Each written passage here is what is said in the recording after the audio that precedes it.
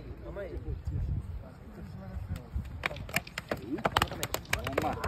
Volta. Volta! Eita Porra.